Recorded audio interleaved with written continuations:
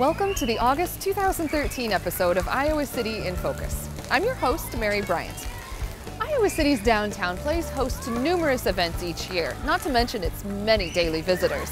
And with such heavy usage, things are bound to get worn out. So the city is looking to update its downtown and wants your input on how to do that. On this month's episode, I'll talk with Nancy Bird, the Executive Director of the Iowa City Downtown District, about the streetscape update planned for downtown Iowa City and how community members can submit their ideas for the project. Then you'll hear about a new mobile library that has been making the rounds to Iowa City's neighborhoods. Finally, we'll highlight an innovative small business that has moved into Iowa City, which doesn't follow the typical business model. Stay tuned.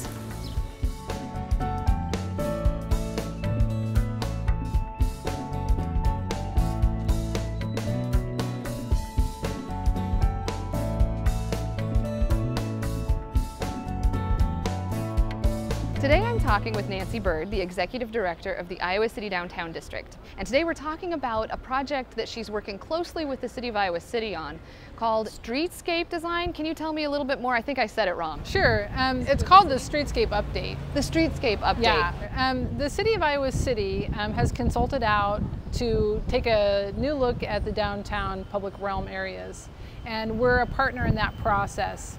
So it's really a streetscape update to make sure that we're looking at all the public furniture, um, the trees, the way the pedestrian mall is laid out, some of the things that occur as far as lane widths, those kinds of things in the public realm or in the streets, and updating them for years to come. So the city's leading the process and it's their, it's really their project. There's three primary stakeholders, the downtown district, which I represent, um, the University of Iowa, and Summer of the Arts, who throws very large regional events. So it's been a really great process so far. And you have a website set up called Inspire right. Downtown IC. Yeah, it's a unique project in that we really want to make sure that this is a community plan. I mean, clearly, if you look behind me, there's tons of people down here all the time. And we recognize that it's not just about the businesses and it's not just about the residents, it's really about people who visit and use the downtown in many different ways. So there's a website that's been created um, that's called inspiredowntownic.com.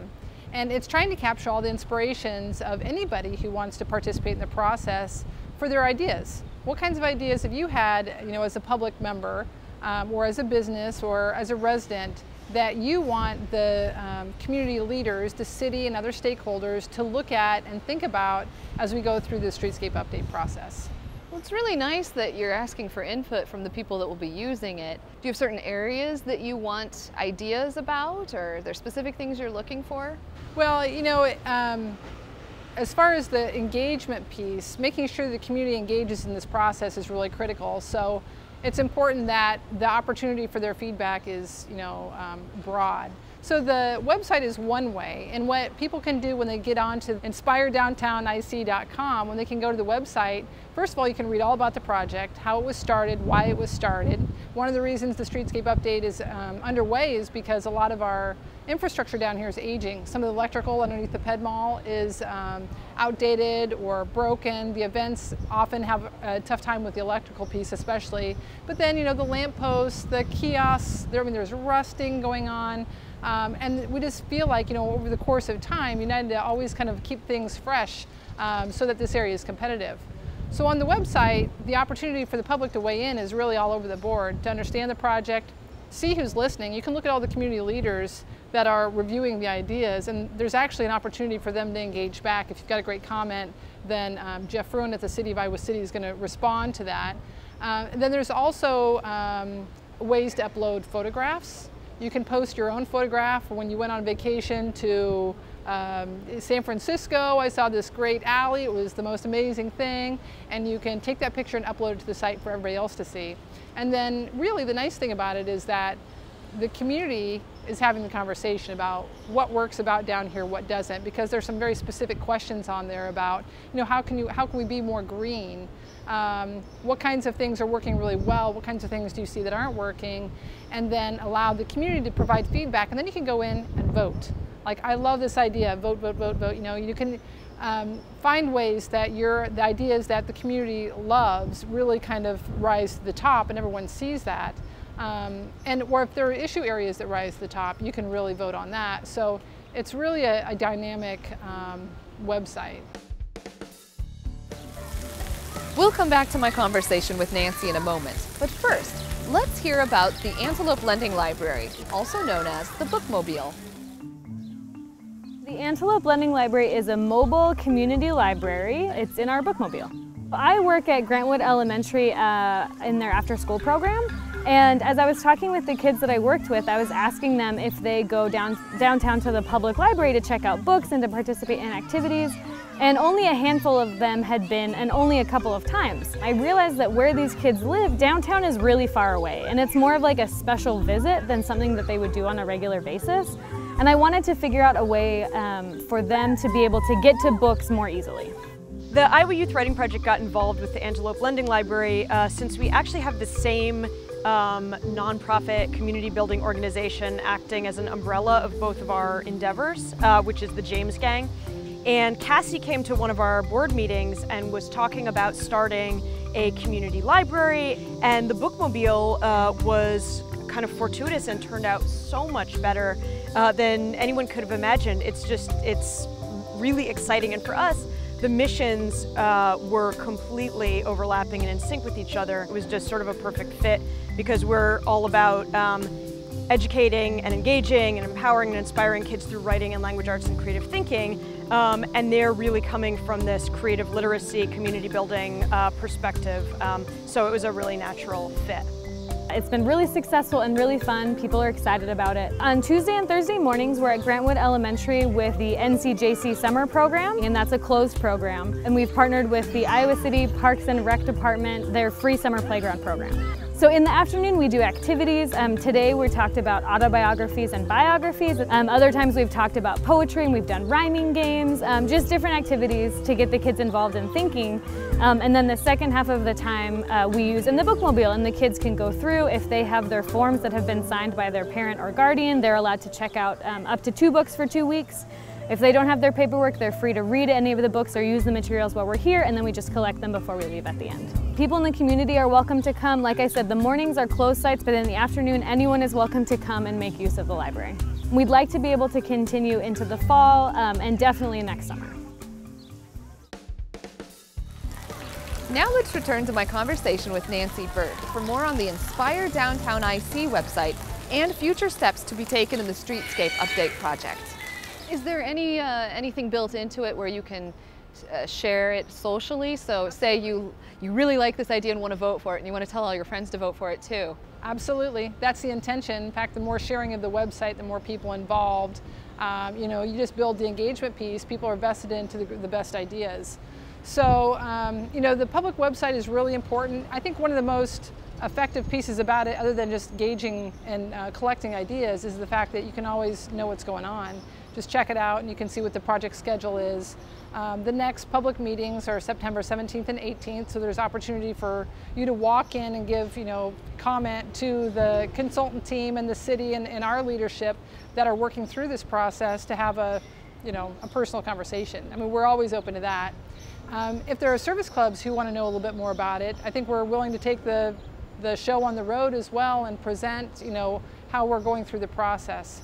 So um, where we're at now, uh, the assessment phase, you know, the consultants that have been hired are, are looking at some of the engineering, the opportunities for green infrastructure, um, taking a look at the planters, you know, how healthy are the trees. We've heard time and time again that the trees are critical for downtown, downtown and um, I couldn't agree more. I mean, if you're not shaded down here, it's hot, just asphalt. So, um, you know, we're getting that feedback and it's confirming what we already sort of know as things get taken to the next level, how can people sort of track the ideas that they gave? Um, you know, really the website allows you to see how there's been, how they've been voted on.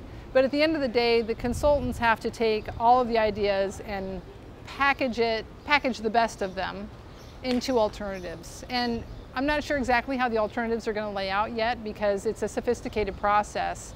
Um, but what they'll do is they'll probably provide some options that show a very aggressive um, stance on how you can really refresh the downtown versus uh, some more moderate schemes that will be connected with costs.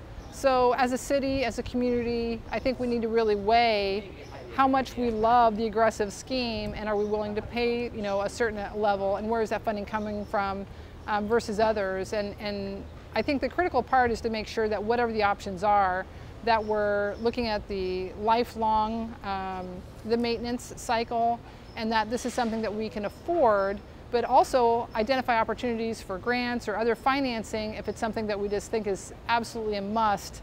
Um, so the financing is a big part of it, and you know, in making sure that our expectations don't, you know, run away. Um, we're going to make sure that we're informing the community about the, you know, basically the decisions we have to make as we go. So it's going to be a long-term thing, and we'll have to keep our eyes open for all of that. That's the... right. And in um, the the project concludes in January, so this is all planning. Um, then in January, when we have a solid plan to move forward with, you know, we have an option that we've selected. This is how we want these streets to be um, streets to be treated. These are the trees that we, you know, want to make sure uh, retain health. Um, new playground features, things like that. Once they're decided upon, then in 2014 we move forward with financing and implementation. Great. Thanks for taking the time to talk with me today, Nancy. You're welcome. And I look forward to seeing a productive discussion happening about the downtown streetscape. Thanks for having me, and I hope everybody out there can jump on the website or give us a ring. You know, I'm really open to talking to people and um, going out to, to meet groups to talk more in depth about these issues. Great. Thanks, Nancy. Tucked away in our vibrant downtown is a new business venture called Busy Co-working. Check it out. Busy Co-working is a shared workspace in downtown Iowa City. We have an open floor plan with about seven or eight um, spots for people to come and work. The coffee shop's also a good way to get out of your house if you work from home. Um, but the thing that's missing in that scenario is you don't necessarily have the community. And you've got a community of people that you are working near and next to who become part of your network. For people who work from Busy Co-working, what we have available up here is a fast Wi-Fi connection, um, space to work, including desks, high top tables, and soft seating. Everybody gets a storage cubby. We also have a shared printer, copier, scanner, mini fridge, a coffee maker, a microwave. We're basically all set up for people to be productive up here all day. We have a really nice environment, big windows, art on the walls. We sell memberships, uh, kind of like a gym membership. You can just come in for a day, or you can um, get a pass with 10 days on it, or you can uh, be a member for a month or more than that. Monthly members get uh, more benefits. They can come in 24-7. They have access to the building. The members here really get to know each other. They become each other's friends, their networks. Sometimes they're able to refer each other for other work in the workspace at Busy Co-working, we have a culture where it's not necessarily library quiet, but we do want to have a productive workspace for everyone up here. There's a lot of people like us who want to get out of the house, but also want to be in an, in an environment where they're productive. Can also be around other people. Busy Co-working is really excited to be a part of the Iowa City Downtown District. We love the energy of being downtown. We hope to be a business that uh, enables entrepreneurs and small businesses uh, by providing more inexpensive space uh, for them to really build their business. Our role in the community, I would say we're a place where independent professionals, freelancers, people who work remotely can come and work together and feel like part of a community um, on a daily basis. Last month, we showed you the planting of the Children's Garden on the Ped Mall in downtown Iowa City. Take a look at how much it's grown.